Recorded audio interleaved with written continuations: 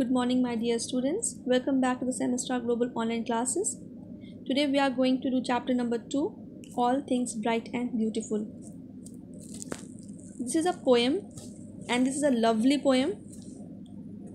I am going to read out first so that you can also do practice at home. Also, I have underlined some words so that you can also learn this these words along with this poem. Children, this beautiful poem is written by Cecil Frances Alexander. But before we begin, let's do a small activity. Children, as you know, that this world is full of amazing things. We human beings share this planet with plants, animals, and other creatures too. Apart from the living things, we have non living things also, which adds comfort in our life.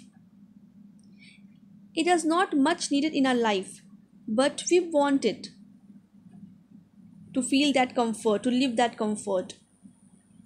Means if we don't have these things, still we can survive.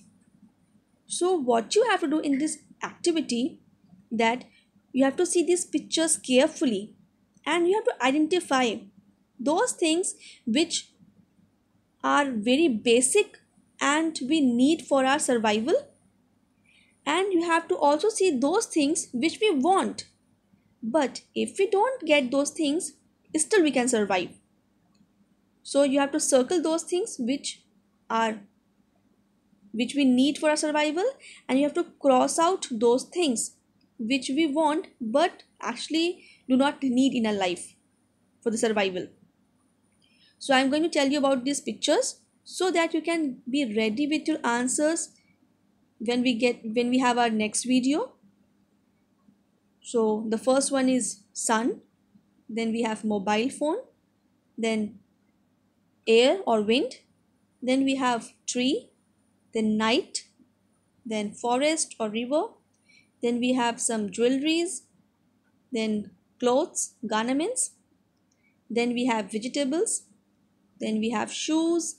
Next we have table. And the last one we have some junk food and baked items baked food.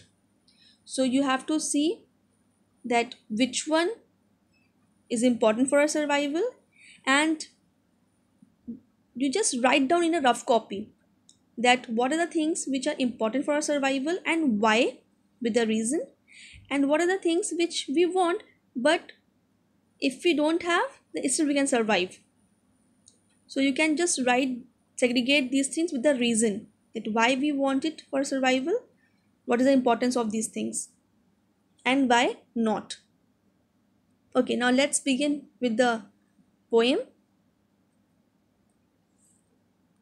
all things bright and beautiful all creatures great and small all things wise and wonderful the lord god made them all each little flower that opens, each little bird that sings.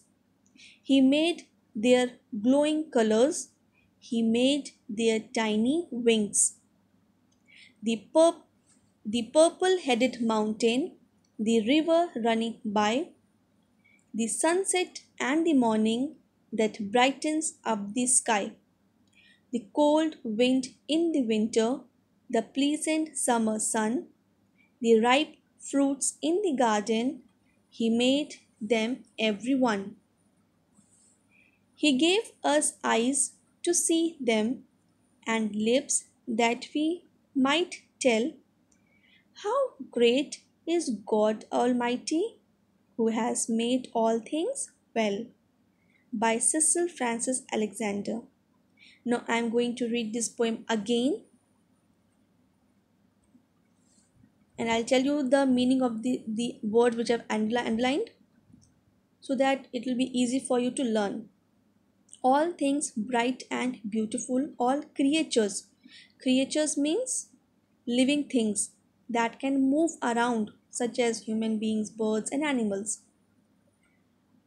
Great and small, all things wise and wonderful. Wise and wonderful means clever and very good.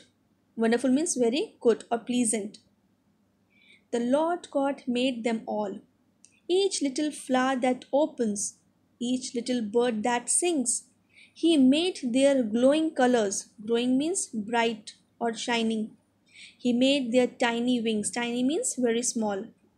The purple headed mountain. Purple headed means over here uh, the mountain the top the tip of the mountain is called the purple headed why purple headed because mountains are very far from us. So when we see those mountains during sunset and sunrise is look it, it looks purple in color. That is why it is said purple headed mountain. The river running by. Running means flowing as you know river cannot run it only flows the sunset and the morning that brightens up the sky, brightens up means makes it bright. The cold wind in the winter, the pleasant summer sun, pleasant means nice or pleasing. The ripe fruits in the garden, ripe means fully grown fruit, fruits in the garden.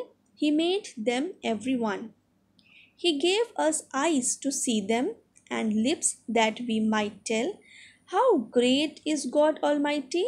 Almighty means powerful, and here Almighty is used for God only. Who has made all these thing, things well? So, this is the poem, which is a very beautiful. It is described the God's greatness, and it's it's a poem which is appreciating uh, God's creation. So, I'm going. I will tell you this explanation of this poem in the next video. Till then, please practice this poem, read it out, and learn it. Thank you.